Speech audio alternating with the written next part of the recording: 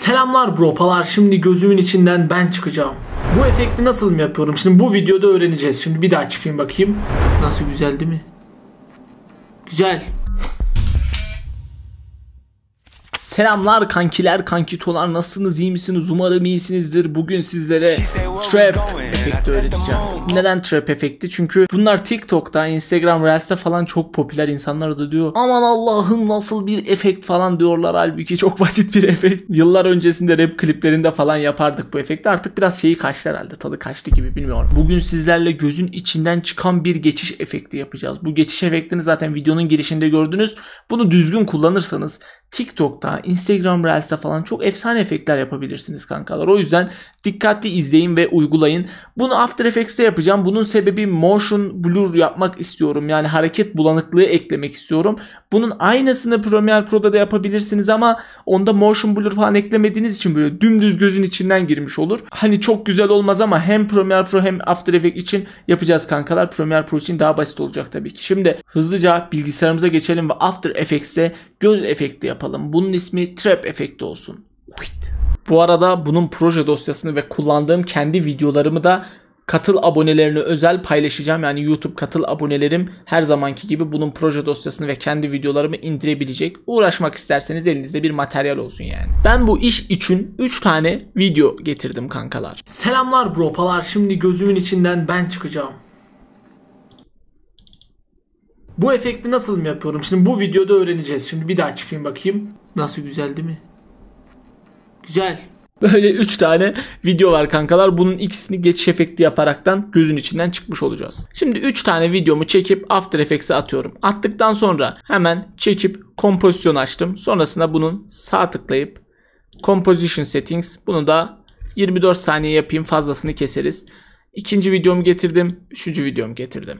Bakın böyle 3 tane video oldu. Hatta bunları alta almamız gerekebilir. Tamam. Şimdi kankalar göz efekti yapacağız diyorum ve gözümü açıyorum. Şimdi burada ne yapacağız biliyor musunuz? İlk video normal kalacak sonrasında maskeleme işlemi uygulayacağız. Zaten yaptığımda anlayacaksınız kankalar. Buradan Ctrl ile D yaptım.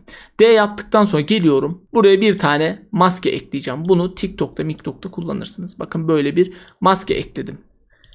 Maskeyle gözümü içini maskeledim. Gözümün içini maskeledim. Sonra buradan invert'e tıkladıktan sonra ne yaptık biliyor musunuz? Sadece gözün içini maskelemiş oldum. Bunu zaten şimdi ne anlama geldiğini göreceksiniz. Bakın artırınca böyle maske artmış oluyor. Biz sadece gözümüzün içini maskelemek istiyoruz. Maskeledik. Sonra geliyorum maskeden feather'ını bir ne yapalım? 5 yapalım feather'ını. Biraz böyle yumuşak geçişli olsun. Bakın tam görebiliyor musunuz bilmiyorum şöyle bir maskeleme işlemi yapmış olduk. Tamam çok önemli değil. Şimdi maskeledikten sonra bu maskenin gözünün içini takip etmesi lazım. Yani gözünün gözümün benim benim gözümün içini takip etmesi lazım. Şimdi buradan Windows'dan ilk önce tracker açıyorsunuz. Tracker açınca bu şekilde gelir kankalar. Gelip maskeye tıkladığınızda bakın tracker değişiyor. Normal bir yere tıkladığında track motion falan maskeye tıkladığında maske tracker açıyor. Bunun için geliyoruz. Buradan sonrasını analiz et diyorum. Bakın gözümün içini analiz ediyor. Sizin de aynı şekilde böyle gözünüzün içini analiz edecek ve maske takibi yapacak. Bakın maskeledi. U'ya bastığımda bütün maskelerimi görürüm kankalar. U'ya bastım. Şimdi T'ye basıyorum. Opacity'sini açıyorum. Opacity burada 100 olsun. Hemen ileri götüreyim.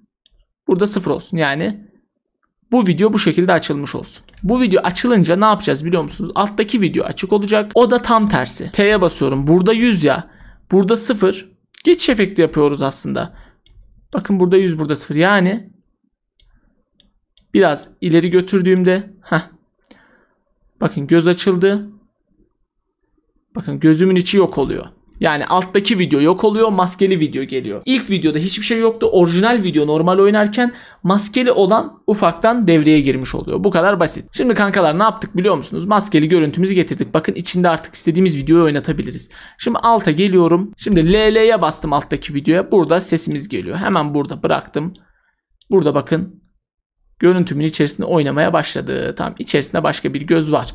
Şimdi bunu nasıl yapacağız biliyor musunuz? Gözümün içini boşaltmış oldum. Şimdi yakınlaşma işlemi uygulayacağım. Yani gözümün içine yakınlaşıp o gözün içinden geçeceğiz. Şimdi hemen açıyorum birinci videomu. Position ve Scale'a birden bir tane nokta bırakıyorum. Hatta biraz ilerisinde bırakalım Position ve Scale. Ha ileri gittiğimde bakın buraya kadar yakınlaşma işlemi yapacağım. Bakın böyle yakınlaşma Position'da içine getirmiş olacağım.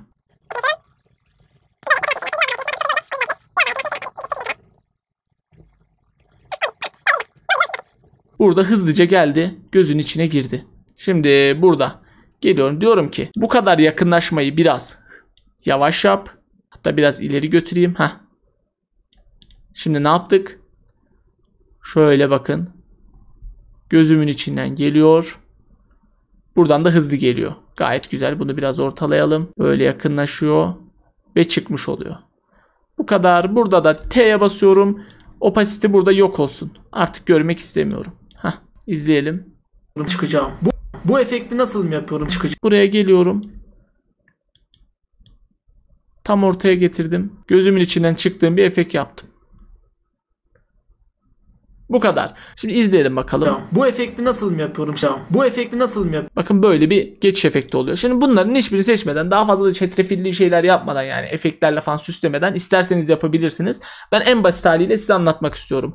Buradan geliyoruz. Bakın bir mesela motion blur'unu açıyoruz buradan bak. Motion blur'unu açtık. Motion blur'u açtıktan sonra burada da otomatikman motion blur açılır. Eğer görmezseniz eğer motion blur'u bulamazsanız bakın sol altta bir tane expand and collapse bölümü var. Böyle layer switch panelini açıp kapatmak için bir bölüm. Bakın burası motion blur'u kapatıp açabilirsiniz. Motion blur'u açtığınızda bakın böyle bir etki olur. Bu da daha kaliteli bir görüntü yapmış olur sizlere. Hop.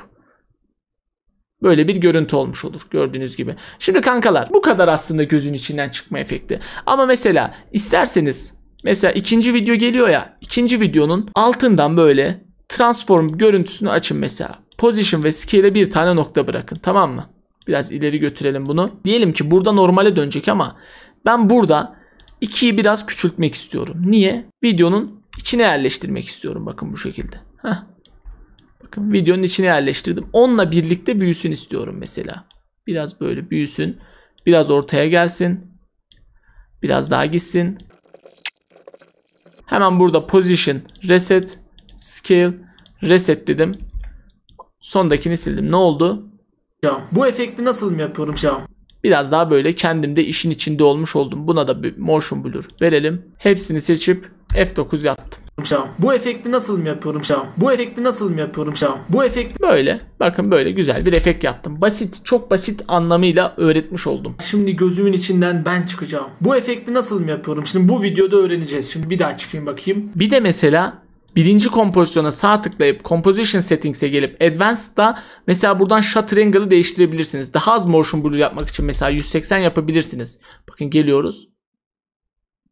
Bakın buradaki motion blur böyleyken hemen sağ tıklayıp Composition Settings'te bunu son 720 derece yapabilirsiniz. 720 derece yaptığınızda bakın bu şekilde daha fazla motion blur yapabilirsiniz. Sizdeki ayar 360 olabilir. Bunu 720 yaparsanız daha fazla motion blur olur. Şimdi aynı işlemi ikinci videoda uyguluyoruz. Peki bunu Premiere Pro'da nasıl yapıyoruz bropalar? Premiere Bropalar. Şimdi Premiere Pro'ya geçelim. Burada da aslında daha basit bir işlem var Premiere Pro'da. Geliyoruz bakın burada direkt gözümüzü böyle açıyoruz ya. C'ye gelip basıyorum burada. C'ye bastım. Sonra gelip ikisinin ortasına CTRL ile bastıktan sonra veya direkt gelip sağ tıklayıp buradan Apply Default Transitions diyerek Cross Dissolve ekleyebilirim. Buradaki alttakini kısalım sese olmasın. Şimdi burada da şu işlemi yapıyoruz. Yakınlaşıyorum. Burada bakın opacity bölümü var. Mesela burada yuvarlak bir maske açtım. Geldim. Göze doğru bir maske uygulayalım. Maske şimdi yakınlaşalım. Heh. Buraya gelip daha küçük bir alan ekliyoruz. Evet. Tamam böyle bir yuvarlak ekledik. Bunda mesela feather'ını yine 5 yapalım. Şimdi kankalar bunun maske petinin sağına tıkladığımda direkt o da aynı şekil gözümü takip edecek. Heh. Bakın böyle gözümü gözümün içini bu şekilde takip etti kusursuz biçimde. Bunu tabi invert yapmamız lazım. Heh. Buradan da maske pete gelip geriye doğru tara dedik. Şimdi ne yaptık? İki tane görüntüyü ortadan kestik. Arasında geçiş efekti verdik. İkincisinde gözümü yok ettik. Gözümün içi boş oldu artık. Şimdi o boş olan gözümün içine görüntümü alt kısma getiriyorum. Shift'le açtım. Şimdi burada da birdeyken position ve scale'i açıyorum ve sona doğru gidiyorum. Burada da mesela yaklaş yaklaş diyorum. Aynı işlem. Tamamen aynı işlem. Sadece motion blur yok dediğim gibi. Böyle bakın sonrasında da cross dissolve verebilirsiniz tabi. Hah burada da böyle bir efekt yapmış olduk. Gözümüzü açıyoruz ve yakınlaşıyoruz. Premiere Pro'da daha basit ama dediğim gibi motion blur yok. Neyse aynı şekil içine bir görüntü koyduk. Bu efekti nasıl Hemen burada birer tane nokta bırakıyorum. Geri dönünce de biraz küçültüyorum. Güzel. Gözümün içinden ben çıkacağım. Bu efekt Bakın böyle geliyor. Tabi yukarıda bir kesiklik var. Bunun içinde ne yaparsınız mesela biraz daha büyütürsünüz. Erkene gelir. Ha, böyle yaparsınız.